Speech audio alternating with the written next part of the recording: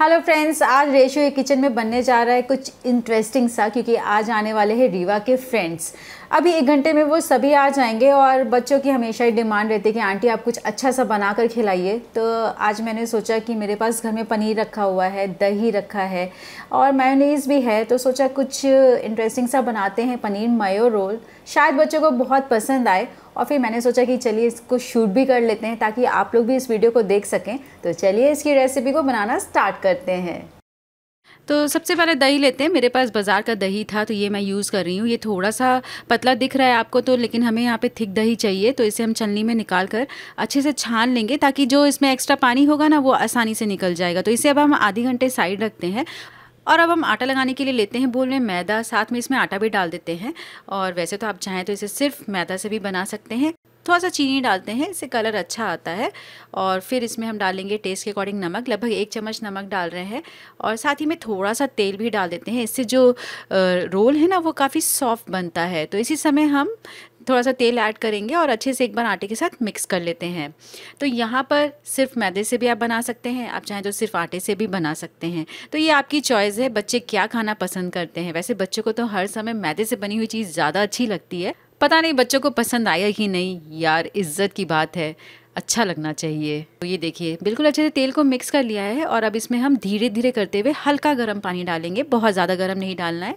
सिर्फ़ हल्का सा गर्म पानी डालकर इसे हम बिल्कुल सॉफ्ट डो की तरह बना लेंगे। तो यहाँ पे जैसे हमें ज़्यादा गीला आटा भी नहीं लगाना है, बहुत सख्त आटा भी नहीं लगाना है। बिल्कुल जैसे रोटी हम लगाते हैं ना, बिल्कुल वैसा ही सॉफ्ट आटा लगाएँगे। तो ये देखिए बिल्कुल परफेक्ट आटा लग के रेडी हो गया है बिल्कुल सॉफ्ट है ये। और अब इसे हम ढक देते हैं और पंद्रह से बीस मिनट हम इसे साइड रखेंगे ताकि ये अच्छे तो से जब तक आटा सेट हो रहा है तब तक चलिए एक बढ़िया सी फिलिंग बना लेते हैं। तो यहाँ पर पैन में मैंने पनीर के पीसेज लिए हैं। ये लगभग आधा किलो पनीर है जिसे मैंने इस तरीके से कट कर लिया है। और अब इसमें हम 200 ग्राम दही डाल देते हैं। तो यहाँ पे ये हंकट मैंने नहीं लिया जो पहले मैंने चलनी में रखा था। ये नॉर्मल दही है। तो ये लगभग हम हाफ़ कप डाल रहे हैं। और और अब इसमें हम डालते हैं क्रश किया हुआ लहसुन। साथ ही में अदरक भी डाल देते हैं, जिसे मैंने ग्रेट किया है। वैसे आप जिंजर गार्लिक पेस्ट का भी यूज़ कर सकते हैं। हल्दी पाउडर डालेंगे, लाल मिर्च पाउडर भी डाल देते हैं। थोड़ा सा गरम मसाला डालेंगे, ये टेस्ट के अकॉर्डिंग आप डाल सकते हैं। और साथ ही में इसमें जीरा पाउडर भी डाल देते हैं। और थोड़ा सा हम इसमें विनेगर डालेंगे, जिससे कि बहुत ही अच्छा सा टेस्ट आएगा। और काली मिर्च पाउडर भी डाल देते हैं। नमक टेस्ट के अकॉर्डिंग डाल दीजिए। इसे हम यहाँ पे थोड़ा सा फ़ूड कलर डाल रहे हैं। अगर आप फ़ूड कलर नहीं डालना चाहते ना तो इसे अवॉइड कर सकते हैं। क्योंकि जो मैंने लाल मिर्च पाउडर यूज़ की है, वो कलर के लिए ही मैंने यूज़ किया है। ये बिल्कुल भी तीखी नहीं है। तो बच्चे तो बहुत ही आसानी से इस फिलिंग को खा सकते हैं। अब सभी मसालों को पनीर के साथ बहुत ही जेंटली मिक्स करते हुए इसे हम मीडियम फ्लेम पर रखकर थोड़ा सा कुक करेंगे। तो ये देखिए कितना परफेक्ट लग रहा है ना, बिल्कुल बाज़ार जैसा लग रहा है, जैसे आप बाज़ार में खाते हैं ना काटी रोल, बिल्कुल वैसा ही दिख रहा है। इसमें ऊपर से थोड़ा सा तेल डाल देते हैं, जिससे कि ये और भी शाइनी दिखेगा और अच्छा लगेगा। और सभी को फिर से अच्छे से हम मिक्स करेंगे। तो यहाँ पे तब तक मिक्स करेंगे जब तक ये जो फिलिंग है ना, थोड़ी ड्राई ना हो जाए। मतलब इसमें से जितना भी पानी है, वो ख़त्म ना हो जाए। तो ये देखिए, कितनी परफेक्ट हमारी फिलिंग बन के रेडी हो गई है। मसाले अच्छे से कोट हो गए हैं और पूरी तरीके से ड्राई हो चुकी है।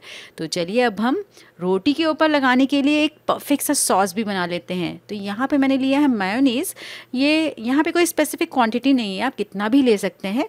और इसी समय इसमें हम डालेंगे हंकर, जो कि मैंने पहले चलनी में डाल के रखा था। ये देखिए कितना थिक हो गया है ना, इसमें बिल्कुल भी पानी नहीं है।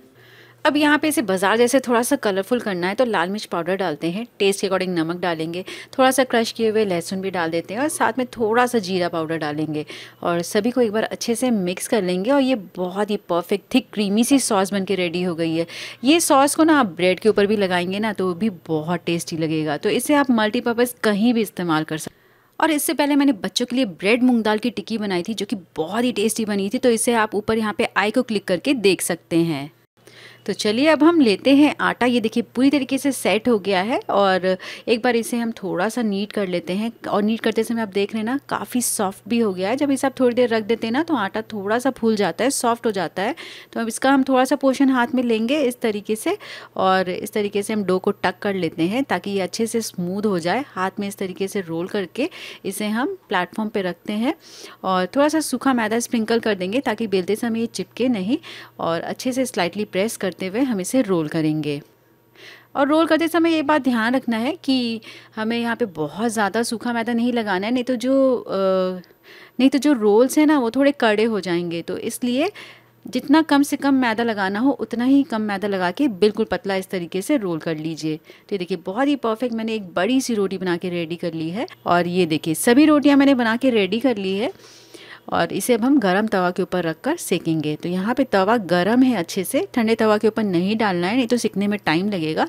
और इसे हम हाई फ्लेम पर रखकर नीचे की तरफ़ से दो मिनट के लिए तो थोड़ा सा सेकने के बाद इसे हम उलट पलट देते हैं ताकि ये हर साइड से इवनली कुक हो जाए।